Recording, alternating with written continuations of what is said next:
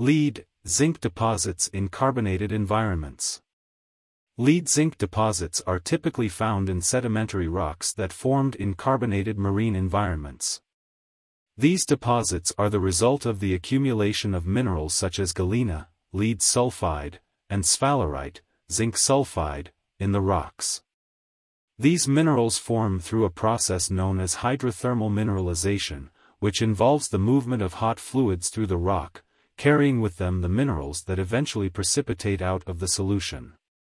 In carbonated environments, these minerals typically form in limestone, dolomite, or other carbonate rocks.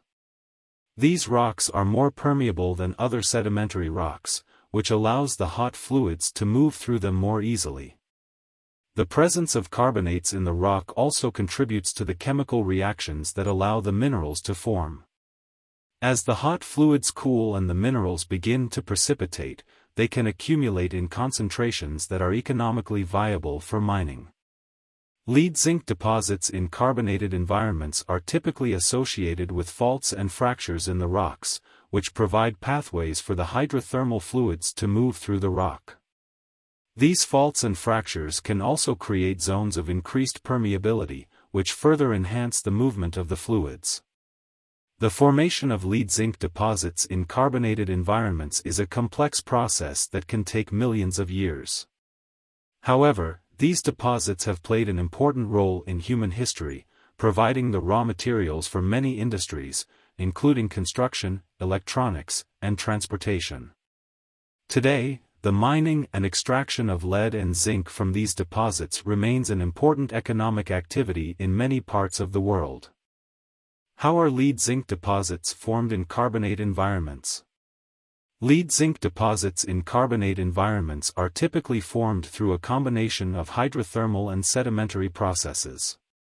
These deposits are found in areas where there was once a large body of shallow water or a shallow marine environment, such as reefs or carbonate platforms.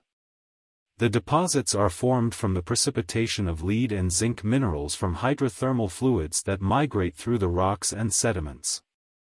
The source of the fluids is often associated with magmatic activity, which can create high-temperature hydrothermal systems that transport metals from deep within the Earth's crust to shallower levels. As these fluids migrate through the rocks, they interact with the surrounding carbonate minerals, causing them to dissolve and create open spaces for the mineralization to occur. During this process, lead and zinc minerals can be precipitated in veins, breccias, or replacement zones within the carbonate rocks. These minerals can also be transported in solution and deposited in other parts of the deposit, such as in the form of disseminated sulfides or as coatings on sediment grains. The formation of these deposits is often controlled by a variety of factors, including the composition of the host rocks, the temperature and pressure of the hydrothermal fluids, and the availability of metals in the system.